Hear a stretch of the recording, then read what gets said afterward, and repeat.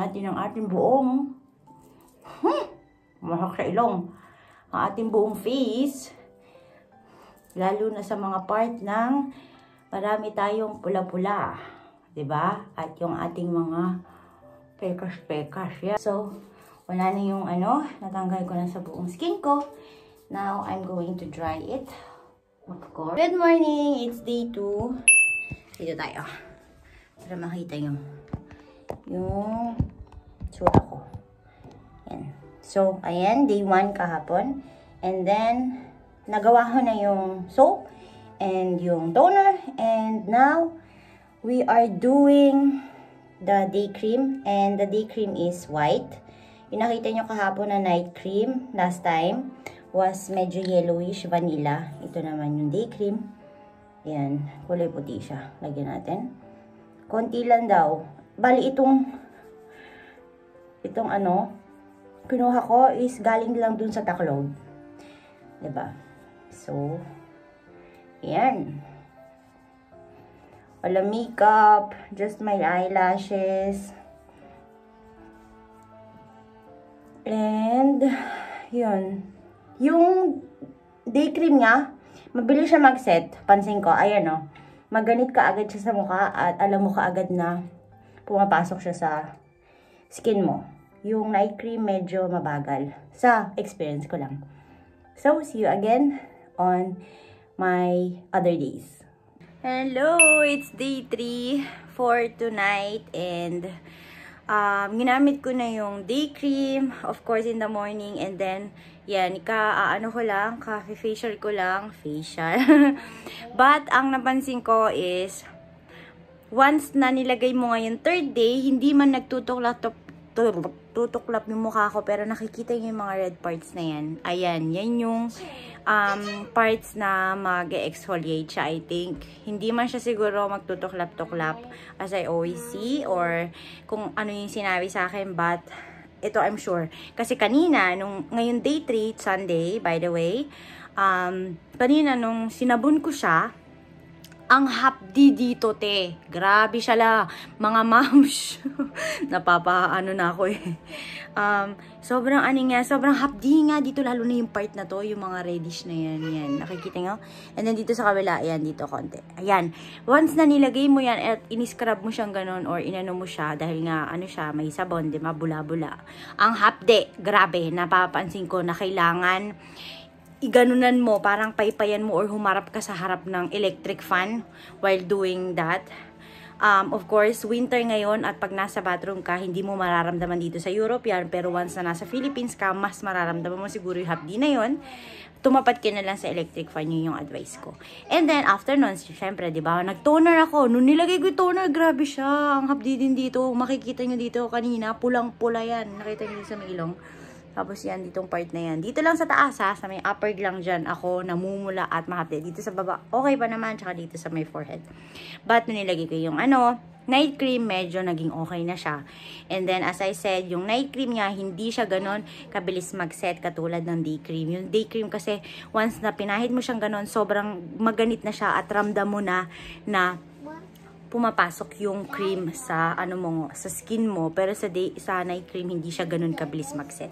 So yun lang po quick update for day 3. So I'm going to see you tomorrow on my day 4 and yes, good night. Morning. It's day 4 and 5. So it's in the morning and as you can see nagpipil siya. Nakita ko kanina, andito ako sa harap ng bintana para mas makita nyo yung natural light niya. Ayan andito nagpipil here on the side. Itong ano ko, pimple ko. Tapos dito sa baba konti. And then here. But yun pa lang. Ang napapansin ko at sobrang katinga. Grabe guys, sobrang kati. At hindi lang sa face ko nararamdaman. But sa buong katawan, nangangati yung ulo ko, yung katawan ko, hindi ko alam kung epekto to ng um, product na ginagamit ko. So, yun lang po. Quick update, day 4 and 5. And I'm gonna see you later again um, in the evening. Hello guys! Quick update. It's day... It's day 4. 4 and 5 and it's already 1 p.m. And I just want to show you my quick update. And see here, nag-ano na siya, sobrang nagda-dry siya. Dito, sa may banda ng baba. Ayan, yung mga spot na yan, ang sobrang maraming mga um, need i-exfoliate. Kaya, yun. Ayun po, kita niyo po, oh, sobrang dry niya. Tapos, ramdam na ramdam ko sa skin ko na dry siya. Kasi pag gumagana ako, bumabanat ako, nababanat yung tawa ko. Parang ang sakit dito, parang nababanat din siya. Yan. So, ito po. So far, so good. It's so dry here everywhere. Tapos dito, konti lang. And here sa other side, wala pang masyado. Pero dito sa part na to, sobrang dami. Yan lang po. Um, quick update. And then mamaya, day 4, papakita ko sa inyo ulit in the evening yung routine na ginagawa ko for um, night routine and the night cream. Papi, ano ba yun? So, yun po. See you guys later. So, wala po yan. Hindi po ako nag-eyebrow na since um, na humahapdi na po siya. Hindi po ako nag-eyebrow. Hindi na po din ako nag-lipstick kasi sobrang dry niya. Yan.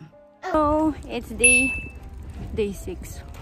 Hindi ako makapagsalita ng ayun. Kaliligo ko lang tapos um, naglagay na ako ng day cream. At sobrang tuyo ng um, feeling ko tapos ang dami nangangati sa mukha ko, sa ulo, sa katawan, lahat na nangangati. Tapos yan dito, sobrang dry niyan dito lahat. Yan wala akong makeup, wala akong eyebrow, wala din akong lipstick. At medyo nahirapan ako magsalita. Yan, ito po ang quick update ng day 6 ko. At see you again tomorrow sa ating first week of trying the Rix Skin Advanced Exfoliating Starter Clear Bomb Set. Natutukla pa na siya. Bali yun nga, sabi nga ni um, Mama Rika, yung may-ari nun at nag nag ano nag invento nung Rick Skin. Uh, depende-depende nga naman yan sa mga gumagamit. Syempre hindi ibig sabihin na nag-work sa kanya ganun din sa atin di ba? So patience lang and tingnan natin magiging outcome. Tiis ganda nasabi ko sa inyo hindi talaga ako makapag eyebrows kasi sobrang hapde. Nakikita nyo. Sobrang pula niyan. Hindi nga na nakikita masyado sa video but I feel so dry. Pero nilalagyan ko dito ng maraming um, cream para hindi siya ganun kahapde. And yun tumututok talaga ako sa parang mini electric fan kasi ang sakit sobra. Uh, ang hapdi talaga ng pag magwawash ka and gagamitin mo na yung toner. Tapos ang tinatry ko din ngayon is habang maliligo ako sinasabay ko na habang naliligo winawash ko na yung face ko para in one na lang to. So pagbaba ko ng bathtub yun magto-toner na lang ako. Good morning K family. So today marks the 7th day first week of using me the Rick Skin um, Clear Bump the advanced exfoliating. So it's early in the morning. It's already 7 and I just did my daily wash routine for the morning session. And it looks okay now because I put a lot of lotion. Pero makikita nyo siya dito nagda-dry na siya. Um, almost ilang araw na at nagpipil na din siya. Yan Um, tapos dito sa my forehead. And then most of all dito sa gilid-gilid at saka dito sa baba. Ayan. Yun lang po, quick update lang. And day by day, napapansin ko more on nagpipil siya at nag-change ng balat. So, let's see. Um, tomorrow is day 8 at So far so good, hindi pa naman masyado nauubos ang aking toner. Marami pa naman laman at saka sobrang tapang din kasi yan. And yung day cream, okay pa rin. And yung night at yung mga sabon ko, hindi ko pa nauubos yung isang maliit na bar. And I um, still have three small cubes kasi nga kinat natin, di ba? So, mas tipid siya. Yun lang po a quick update for today, day 7. And excited na ako matanggal to. Oh, malit na bibing to. Dahil busit na busit na po ako. Sobrang laki niya. Yan. So, have a good day and see you again tomorrow. Good morning, it's day 8 and nagtutoner ako. It's early in the morning, it's already 7 and while I'm doing this, tinatap-tap ko lang talaga siya kasi sobrang hati. Lalo na yung mga parts dito. And then here, there. And then after, na feeling ko medyo dry na tong pad. Pinapaypayan ko siya. Kasi, hindi talaga kaya. Sobrang sakit ang hapdi niya. Paypay na konti. And then, okay na. So, it's day 8. And, hindi ko na kayo ina-update sa evening routine kasi kinabukasan na para mas nakikita niyo yung outcome. And then, after that, medyo okay na. Um, lagay ko na yung day cream. Ayun. Uh, quick update lang po. Ganun pa rin siya mahabdi, makati. At yun, tinatapik-tapik ko lang ganun pagka masakit talaga siya, hindi ko siya kinakamot. And yun, I'm gonna see you tomorrow on my day 9. Bye. Good evening. It's day 9 and it's my lucky number. And I just want to update you. Of course, I will update you tomorrow on my day 10. And soon, matatapos na natin tong 14 days of review ng Rick's Skin um, Advanced Exfoliated Clear Bomb Starter Set Edition.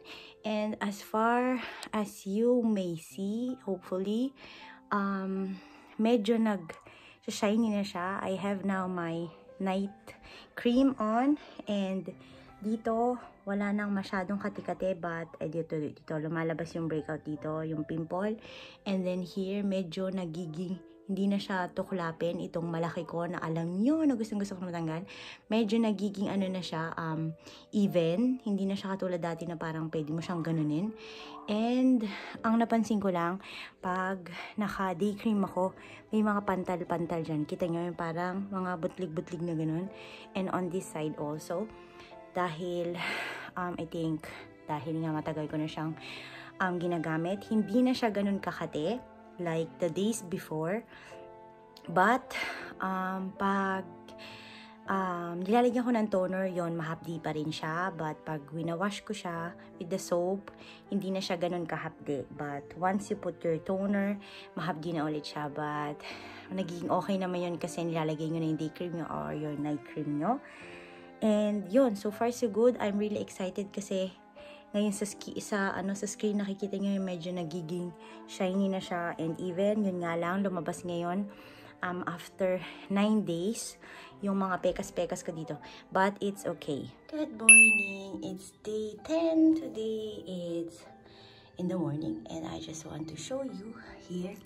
Ayan pa ang natitira sa aking first batch of soap. Yan, nilagay ko dito. And it's 1/4. Di ko siya um, talaga nagamit and marami pa rin yung laman ng toner and night and day lang ang medyo natata nauubos. And yan pa hindi pa naubos yung soap at 10 days na tayo almost 2 weeks. So ayan binasa ko ng aking face bago ko maglagay ng soap. Binasa natin siya. Ayan binasa ko ulit. Nilagyan natin ng soap May nakita ko kay Ma'am Riggs. Um, kwento ko lang kung paano niyang um, sineperate at sinalize yung soap niya. Sobrang, siguro kung mas matipid tong akin na hindi ko pa nauubos, mas matipid siguro yung ginawa niya. As in, ginawa niyang slice na parang cheese. Yung maninipis na gano'n. Para, mas marami siyang magamit. Ayan. So, kailangan palaging may bula pag nilagay nyo siya.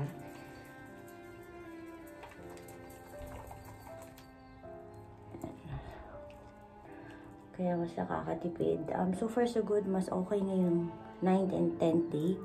Hindi ko na siya masyado nararamdaman siguro. Tapos na yung pag-exfoliate ng aking face. Kailangan ko na din magpa-refill ng lashes ko kasi itong right side ng eye ko. Medyo ano palagi yan. Mahirap. Um, mabilis siya natatanggal. Yan. So, wag more than 1 minute sa face. Pwede nyo siyang konsultin pero huwag nyo siyang iiwanan ng mas matagal.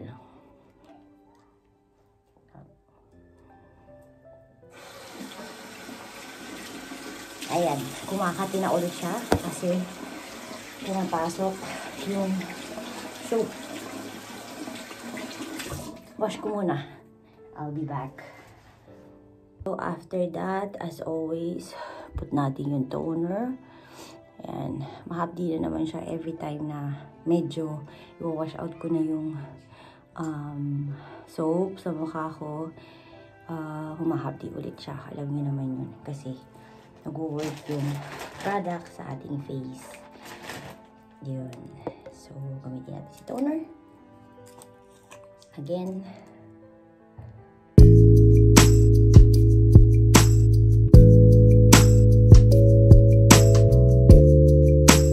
Okay, I already put my day cream and feeling ko lang ha, dahil hindi ako sanay na naglalagay na kung ano-ano or anything on my face, feeling ko hindi siya mag-work sa akin in 14 days. It's already day 10. 4 days na lang left for me to use these products. At, ayun, um, feeling ko gagamitin ko siya kasi hindi nyo siya pwedeng gamitin more than 14 days. Kasi kailangan mag, um, mag-pause kayo sa mga products na ginagamit nyo and mag, kailangan mag-regenerate yung yung cells ng mga face nyo, mga skin nyo. So, I'm gonna ask my ates if I can use it more than 2 weeks kasi 4 days na lang and hindi pa ubos lahat ng mga products ko. Hindi, hindi ko siya tinipid ha, nakita nyo. Um, pag feeling ko kasi in the morning lalo or bago matulog na hindi pa ganun ka um, busog yung face ko sa cream, dinadagdagan ko siya. So, it's better na lalo na yung mga spots na mahapdi at redness, yun ang lalagyan nyo na maraming mga lotions and cream para doon talaga siya mag-exfoliate. Tingnan yung mga eyelashes ko sabog-sabog na. Anyways, that was 10, um, day 10 and I'm going to see you tomorrow on my day 11. Have a good day, have a blessed Sunday and hope to see you tomorrow again. Morning, 11 today and this is how I look like. Medyo natanggal na yung pantal and all here um, dry yan but I have my day cream so halata. Yun lang po. Quick update. Quick update. Masyadong mainit today kaya gusto ko ipakita sa inyo ang aking namumulang face. It's day 12. Ayan. Dito pwede ito masyadong maano sa sa sun. Pero wala akong magagawa ganito yung weather. And I will extend using my products. Ipopost ko muna siya for few days and then continue to use it kasi hindi pa siya ganun kakinis katulad ng gusto kong mangyari sa buhay. Char. Ayun na Quick update. Good evening guys. Okay, family. It's my 13th day using my Rick Skin BB. And so far so good. Ito, um, namumula pa rin siya lalo na pagka maaraw. And after ng 14 days, tomorrow, stop ko muna siya ng ilang araw. And then, ubusin ko yung product. And, sorry, mahina yung boses ko kasi natutulog na yung mga tao. And then, um, lilipat ako sa um, sa starter kit ng yung um, ano ba yun? Nakalimutan ko yung pangalan. But anyways, dito nakikita nyo wala na yung pimple here. Nag-even na siya. Dito meron pa akong pekas but medyo light na siya. And ano ba ba? Yun lang po. I'm gonna update you tomorrow on my 14th day of using this clear bomb. Eric Skin. So, good night. Good, good day, Monkey Family. It's Saturday and actually kahapon pa tapos ang aking um, ang aking journey with the Rix Skin Clear Bomb Advanced Rejuvenating Set. And today, um, tapos na. Hindi na ako naglagay sa mukha. Hindi na din ako nagsabon. Hindi ko na ginamit yung mga products. And I will stop. And yeah, actually, nag, ano siya, nag-even dito. May mga bagong tumutubo now. Um, but, ididiretso ko siya. Alam niyo naman ho, kailangan ho idiretso para ho maganda at okay ang ating face. And yes, yun lang po. Thank you very much for um, being with my first um, starter set of this Skin journey. Um, I will update you again um, next week, I think, for my next set. And for now, I will stop using it. And so far, so good. Hindi pa man glass skin, but I know by time um, magiging ganun ulit siya. Um, siguro iba lang naging reaction ng face ko sa product na yon kasi hindi po talaga ako gumagamit ng mga face product only soap na Palmolive and then I'm using um, a toner pero hindi din ako consistently gumagamit ng toner um, kaya natural lang po ginagamit ko sa aking face kaya po siguro nag-reaction ng ganon Um, mega love shoutout po sa cases um, Yuli and Grace. Hindi ko po, hindi ko po talaga magawa ang Batanggenyo na magsalita kasi po hindi po ako sanay at hindi nahihiya po ako kaya po medyo konti lang yung ano ko, yung pagbabatenggenyo ko but yun, maybe I will challenge myself next time to do a um, separate Batanggenyo challenge. And yes, thank you very much for being and supporting our channel. It is not growing, but I know someone is still watching our um, videos. Um, and I really appreciate it. And I'm gonna see you on my next journey. And I wish you a happy, happy Easter, a blessed Saturday. And thank you again, Ati Chris and Ati Sally for giving me the opportunity to have this journey. It was very uh, hot journey. Lalo na po sa mga days na nagtutuklap siya at sobrang init niya at habdi niya sa mukha. But as I said, every skin is different from the other. So please don't compare your skin to others na ganun yung naging outcome nila, na ganun din na magiging outcome nyo. Just be prepared kung ano man na maging outcome, yun yung epekto ng product sa face nyo. So don't expect um, looking like the others but just appreciate how it um, how it runs with your um, facial reactions, di ba? Yun lang po, I wish you God bless and I'm going to see you on my next videos. Happy, happy Easter everyone. Stay safe and it's another lockdown here in Vienna, Austria until April 11. But hopefully and sana naman um, matapos na din to. Okay, bye-bye. God bless. You are summer and after fall.